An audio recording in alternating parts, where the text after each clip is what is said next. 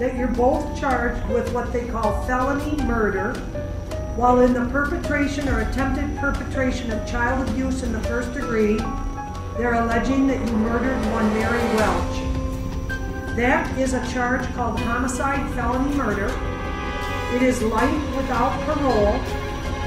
It requires a DNA sample to be taken upon arrest, which is often like a cotton swab or in the inside of your cheek.